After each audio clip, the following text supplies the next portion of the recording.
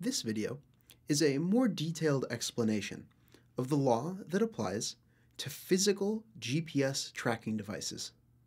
I'm going to focus especially on the Supreme Court's 2012 opinion in United States against Jones. If you haven't yet watched the main lectures on cell phone tracking, I would strongly recommend viewing those first. Let me begin by clarifying the technology. In these cases, the police have physically attached a tracking device to a suspect's vehicle. They're quite inexpensive now and smaller than a pack of cards.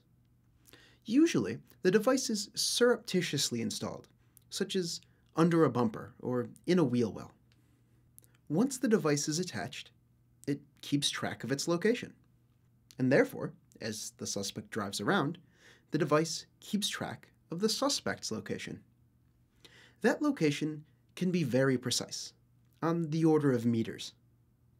With some cheap models, the police have to go collect the device to learn where the suspect has traveled.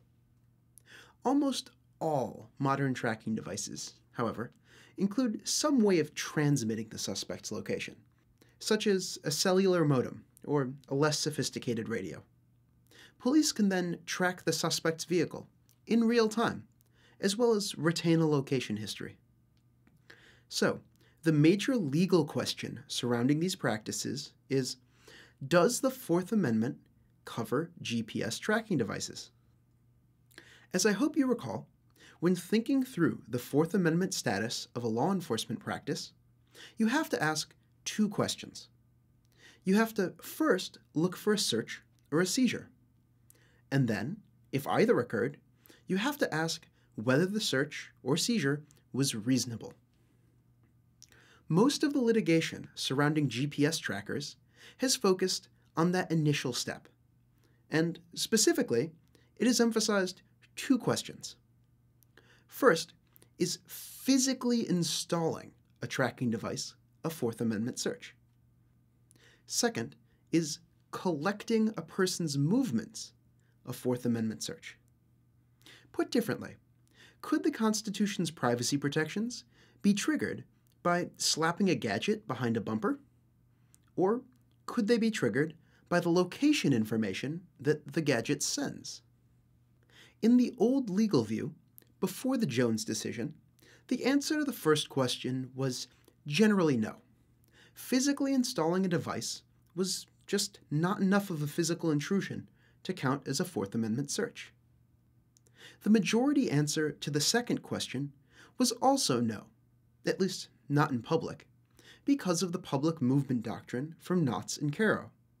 As I hope you recall from the lectures on cell phone tracking, the conventional reading of those cases is that a person does not inherently have a reasonable expectation of privacy in their public movements. I should note that there was a small but vocal and growing minority on the second question. Some courts believed collecting a person's movements could be a Fourth Amendment search if the tracking were sufficiently precise and protracted. The D.C. Circuit adopted that view in the Jones case, in fact, before it reached the Supreme Court. I think it's fair to say that courts are increasingly moving in that direction, and these issues are still playing out in the courts in the context of cell phone tracking.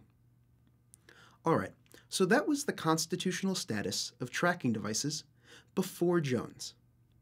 Let me touch on the statutory law. The Electronic Communications Privacy Act has special tracking device provisions. They clarify that these gadgets aren't covered by the Wiretap Act, the Stored Communications Act, or the Pen Register Act. Those provisions also anticipated the need for tracking device warrants in some situations, such as where a vehicle might enter private property off the public roads.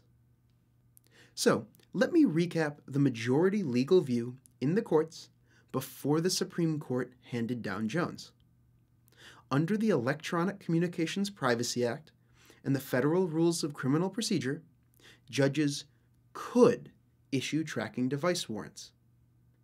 Those warrants were not constitutionally required, however, so long as a vehicle stayed on public roads. ECPA didn't impose a tracking warrant requirement either. Then came United States against Jones. The facts were hardly ideal for the government. The FBI had applied for and received a tracking device warrant, but it exceeded time and geographical limits imposed by the warrant. Put differently, the FBI installed the tracking device after the warrant had expired and outside the geographical area covered by the warrant. So, five justices on the Supreme Court voted that physically installing a GPS tracker on a car is a Fourth Amendment search. That surprised a lot of observers, since the physical intrusion is so minor. In fact, Jones has been widely read to reinvigorate that old mode of Fourth Amendment thinking from before Katz, where physical intrusions greatly mattered.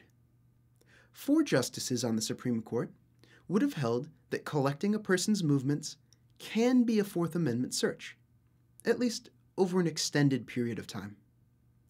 Justice Sotomayor, the swing vote, somewhat suggested that she shares that view, but she disposed of the case on the easier physical intrusion issue. I want to be very precise about what the Supreme Court held in Jones. The issue was whether there is a search, not whether a warrant is required. Remember, those are two separate questions under the Fourth Amendment. Well, it shouldn't come as much surprise that after Jones, lower courts have imposed the default warrant requirement. So, in the wake of Jones, a warrant is clearly required to install a GPS tracker. There's some debate over how far the Jones opinion went on location privacy. One reading, by far the most common reading, is that the Jones opinion is only about physical installation of a gadget. And absent that physical installation, the law is unchanged. Knotts and Karo and the public movement doctrine may still be good law. That's why I didn't focus on Jones in the main lectures. It's widely read as a one off, dealing solely with physical tracking gadgets. Another reading, which is much less widely adopted by scholars in courts, is that other forms of location tracking are covered by analogy. The physical and technical details of how tracking is accomplished just shouldn't really matter. Again, that's not the common reading of Jones. Okay, so here's the punchline on GPS tracking devices and United States against Jones. Since that decision in 2012, installing hardware that tracks a person's location is clearly a Fourth Amendment search. Lower courts have subsequently ruled that a warrant is usually required.